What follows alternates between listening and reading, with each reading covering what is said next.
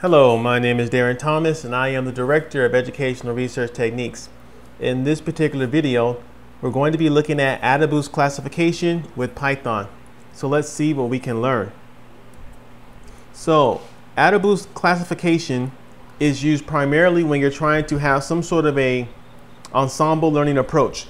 So what you're doing is you're making multiple models and you're trying to iterate and improve your model each time.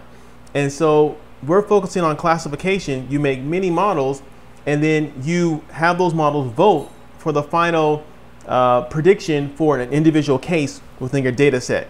That's what happens. If you're doing regression, you take all those models that you made and you calculate the average for individual uh, points in your data to figure out for a, a dependent variable that is, of course, uh, continuous. And so we're going to go through these four steps right here to learn how to do classification with AdaBoost. So step one, you got to prepare your data, and then we're going to make a, a decision tree for the baseline. AdaBoost is often uh, combined with decision trees, and you know sometimes people use random forest instead.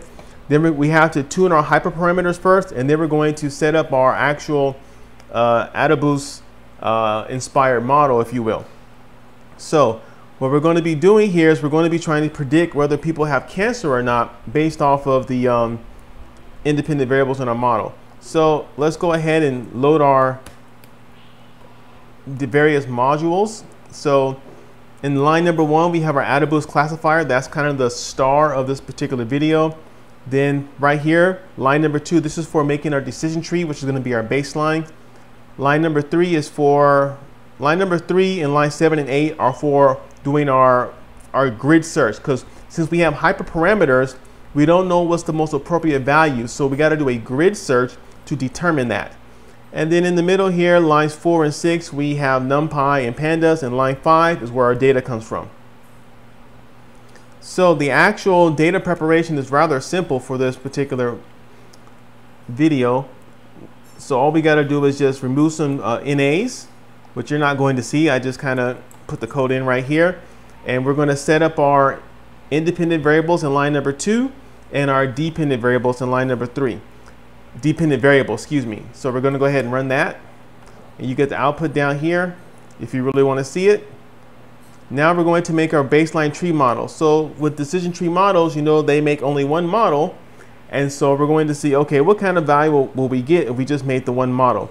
And of course, you know from prior videos that there are strengths and weaknesses to using decision trees. So this code is really complicated. So let me see if I can walk you through this nice and slow. In line number one, we set up our cross-validation. We've talked about what cross-validation is in prior videos. We're doing a, a k fold equals 10, so k equals 10 here. Then in lines number two through five, we are adjusting our depth. So the depth is like how far down the decision tree grows, goes. So we're going to have, we're to go from a depth of 1 to a depth of 10. That's right here in line number 2 in, at the beginning of our for loop. And so then we're going to put this stuff right here inside line number 3. And the real key part right here is right here. Max depth is going to equal depth. And that comes from up here in line 2. So the first time through is going to be, be a 1. The second time through is going to be a, a depth of 2. Third time through a depth of 3, etc. And so next we say if tree classifier, if the, if the max depth is less than depth, we break. That means we, we kind of go back and start it over again. But when this number gets bigger than depth, so basically when we get to number 11, it'll you know stop. And then of course it's going to calculate the, the mean of the accuracy. The key point right here is the accuracy. All right, and then it's going to print this out. So we're going to go ahead and run this. And so you can see when we have a depth of one, we got the best um, uh, max depth. And then after that, it kind of starts to decline. So that's what we can expect. Now we're going to do our actual hyperparameter tuning for the AdaBoost model. So again, we don't know what to tune these to. Okay, so we're gonna go ahead and paste this. Now for those of you who are really sharp, you know, you might say, hey, you know, in line number two, you are tuning the number of estimators and the learning rate. And those are the hyperparameters that AdaBoost cannot set for itself. AdaBoost can deal with max depth or whatever, or it can, adjust those. And maybe we should have put in values for max depth as well, but we didn't in this example. Um, so first we start by initiating an instance of AdaBoost classifier in line number one. Then like I just mentioned in line number two, we are setting up our grid here. So we have to give it values for the number of estimators and we have to give it values for the learning rate. Now what these things are, especially learning rate, is kind of like uh, how much each tree contributes to the overall results. That's kind of what the learning rate indicates. And then the number of estimators is like, you know, uh, the number of estimators like in like each break of the tree, I believe. And so then in line three, we set up our grid search using um, our parameter grid and everything. And we're, we're going to base our, our recommendation on the accuracy. So we're going to go ahead and run this and it's done. Nothing came out yet because we have to go to the next line. So now here is where you get your results. So you do the search.fit xy and then you of course put in your, you look for the best parameter scores. Now this takes a little bit of time. So to make things efficient, I already have the output right here in this particular screen.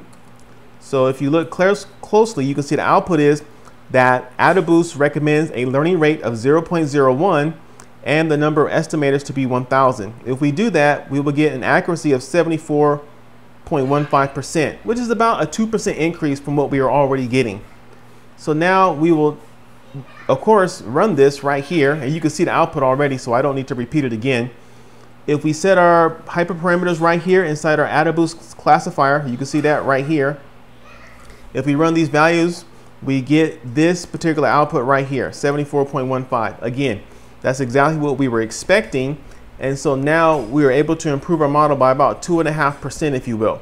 And so again, it wasn't a major increase, but you know, depending on what your goals are, this could be highly significant. You know, if there's a particular cutoff point that you have to reach, or there's some sort of an expectation, these little adjustments can make a significant difference. So what we're going to do now is, is we're going to go back, review what we talked about, and conclude this video. So what we did here is we started off learning about AdaBoost, which is a form of ensemble learning in which you make multiple models and you try to improve the performance with each model and then you aggregate those results. In other words, when you're trying to make a prediction for a, a particular value or example, you take all of the models you made and for classification you vote what you want what you think that final prediction is going to be. If it's regression, you find the average for that individual value. And so by doing that, often you're able to improve your performance quite a bit. And so of course we prepared our data first, not a lot to mention there. Right here, we made our decision tree and we made this decision tree because it was gonna be like, okay, this is our standard. Everything in statistics is about comparison. And so we need to have an idea of what we can expect so that we know how much we're able to improve the model. And so down here, we actually started tuning our hyperparameter right here. And so you can see those results right there. So we made many multiple models right there. And the computer or Python recommended a learning rate of 0.01 and number of estimators at 1,000. If we did that, we would get an output of 74% accuracy. Now, of course, we could put in more values for the estimators or more values for the learning rate. But then, you know, of course, it takes longer and longer for the computer to you know calculate the results. And so then we took those recommendations from the search grid and we put them into the actual AdaBoost model and you can see we got the exact same scores. So I hope that you were able to uh, understand what we talked about in this video.